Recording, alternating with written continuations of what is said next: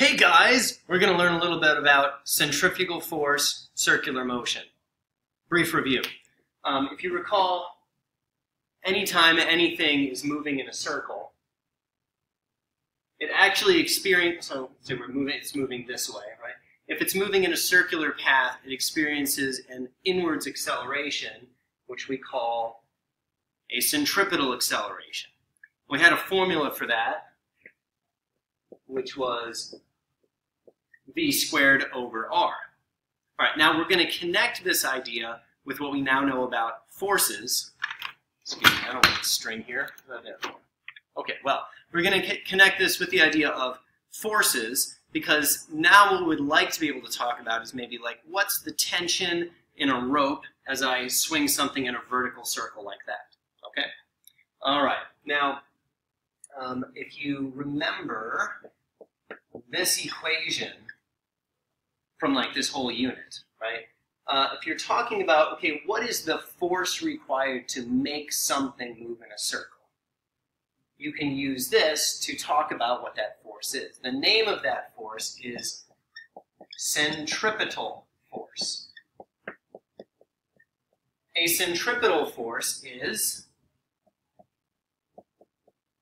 mass times centripetal acceleration. So just using F equals ma.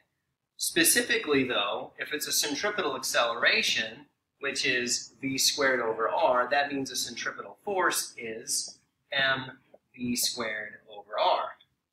Alright, so that's a centripetal force. Now we'll say there's a centripetal force acting then anytime something moves in a circle because forces cause acceleration and so it must be moving in a circle because there's a force causing it to accelerate into a circular path. Okay, so there's your centripetal force equation. Now, let's apply this to a couple of common situations. Um, let's say you have something spinning on a turntable. Now, this is going to be a little bit harder to film, so you're just going to have to see. You see the, the disc I've got in there, right?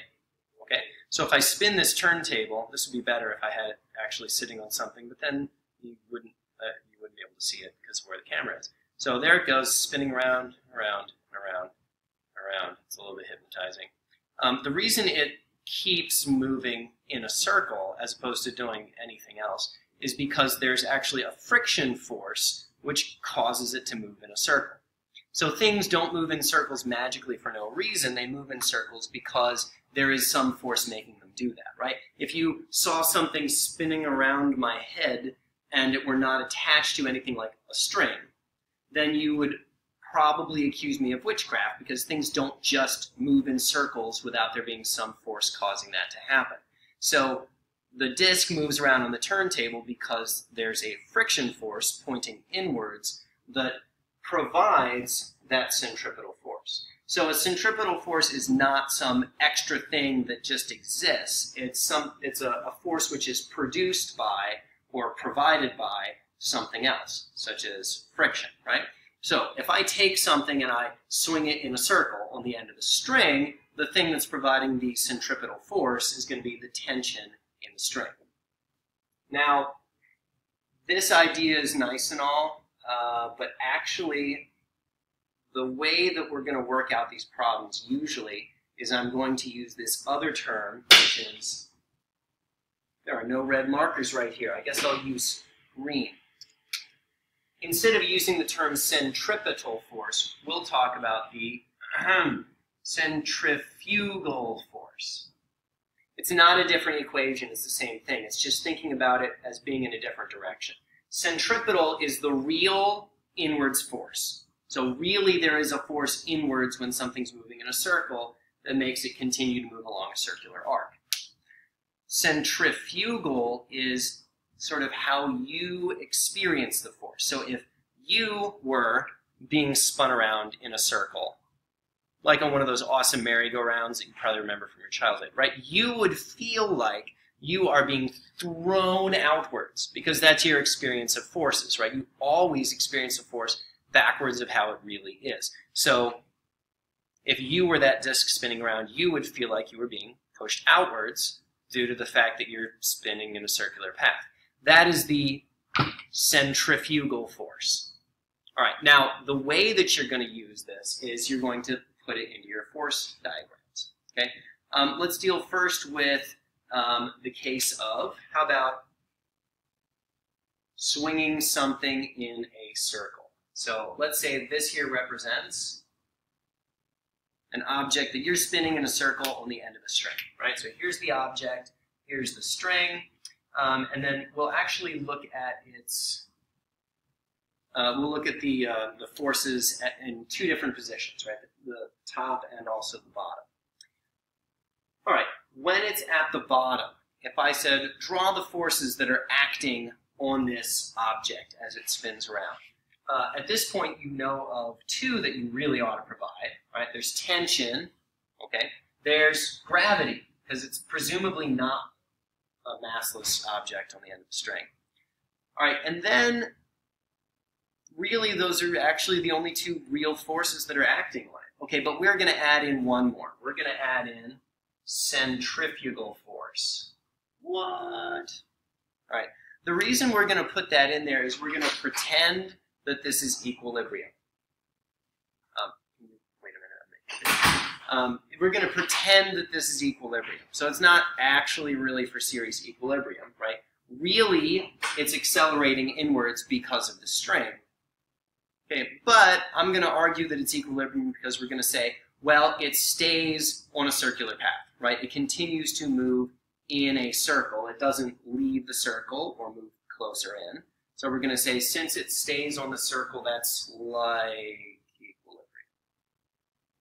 Okay, now the reason you know that you've got to add that extra force in is because it moves in a circle. It's moving, right? It's not just hanging there. If it were just hanging there, the tension would equal the weight. But because it's in motion, right? Let's say it's being swung around this way, right? Because it's in motion, you know just from your own experience that you would have to pull a lot harder on it to keep it moving in that circle than if you were just trying to hold it up.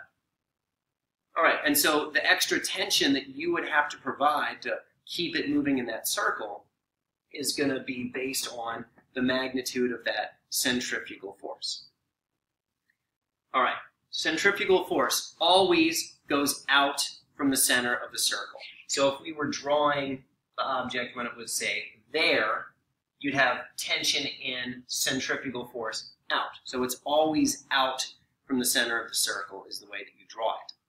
Um, so my sum of forces equation here would look like tension minus mg minus centrifugal force equals zero. Because remember, we're arguing that it's like equilibrium because it stays moving in a circle. All right. Um, now, what would they ask you to do at this point? Maybe they would say, find the tension. Okay, and you would then be given like the speed. Because remember, this here is mv squared over r, right? So if you knew something like, all right, the speed is 6 meters per second, the mass is 1 kilogram, it would be a matter of plugging in numbers into m and g and mv squared over r, so that'd have to tell you how long the string is, something like that. And then you could figure out what the tension is as a result. Uh, or they could, they love doing this. They could say, all right, the maximum tension before, before the string snaps is 50 newtons. So if the string's going to snap, if the tension is 50 newtons, there's going to be some maximum speed at which it could spin before the string is going to snap. Okay, and you could solve for that um, knowing this equation right here, right? You could plug in and figure out what V is. All right, let's look at the top.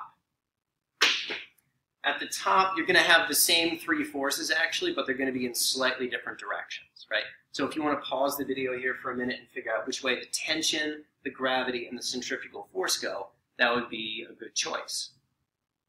I'm not going to tell you you have to, but that would be a good choice. You should do it. Okay, let's draw. Gravity, is always down. All right. Um, the tension would also be downwards, right? The string is pulling it into a circle, so tension. Um, and then centrifugal force would be upwards because it's always out from the circle. Now remember, again, I, I really feel strongly like I have to remind people of this. Really, it's a it's it's a fictitious force. It's based on your experience of how things moving in circles works, right? You feel like it's being pulled this way. And if you were the object being spun around in a circle, like in a spinning ride or something, you would feel like you're being pushed that way.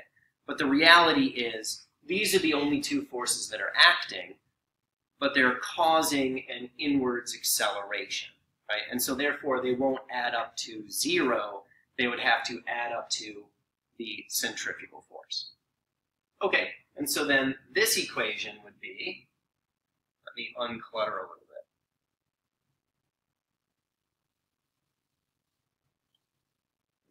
This equation would be uh, T plus mg minus fc equals zero. Okay, so pretty similar in a lot of ways, right? Okay, but because the directions change, that would actually mean the tension would have to change as well. All right, let's look at the last type of spinning question that I want to cover in this video, and it's actually going to come back to the turntable. Okay, so actually the view that we're taking here is actually pretty, um, pretty fortuitous in some ways. You're looking at the turntable basically from the side. The reason I say this is useful for us is because if you were trying to look at it from above, right, um, the the thing that's making it move in a circle, recall, is friction. Absent friction, it would it would not move in a circle, right? Um, and if the coefficient of friction is like too small or something, then when I spin this fast, it it goes flying off like that. Oh, oh my gosh, look at it go. Okay, so as long as friction is large enough, it will continue to move in that circle right there. Well, if you recall, friction is fun, which is to say that it's based on the normal force which means that you need to be able to draw gravity and the normal force. So really you want to draw your turntable from the side so that you mm-hmm. can show the vertical forces that are acting on the system here. So there's our turntable viewed from the side. Maybe let me take black so it's very visible. All right. Oh, there's our turntable viewed from the side. Let's say it's spinning around like so. Here's the center here's our coin or whatever it may happen to be. The inwards directed force is, if you said friction, you're correct. It's friction. Friction is what makes it move in a circle. Um, that force is going to be balanced by the centrifugal force, right? Because it, uh, again, remember we're saying it stays in a circular path, so that's like it's in equilibrium, okay? So those two forces balance, and that's how come it stays in a circle. And then you have normal force and gravity. So for the x direction, the sum of the forces would be centrifugal force minus friction equals zero, which gives you that the friction force equals the centrifugal okay, which would have to be true in order for it to stay in a circle. All right? And then um, for the friction force, you'd have to um, say friction is fun, and therefore we need the equations for the y-axis, right? Sum of the forces along the y-axis would be n minus mg equals 0. So that means that friction is mu mg Our centrifugal force equation is mv squared over r. Okay, and at this point, I don't know exactly what they would ask you to solve for, right? There's, there's some things. They could say, what's the coefficient of friction got to be in order for it to not slide? Or this is the coefficient of friction, what's the maximum speed? Or whatever. There's lots of different things that they could ask here, okay? So if they wanted you to find the maximum speed, let's see, the m's cancel out, and you could say that the maximum speed would be, let's see, some algebra, mu times g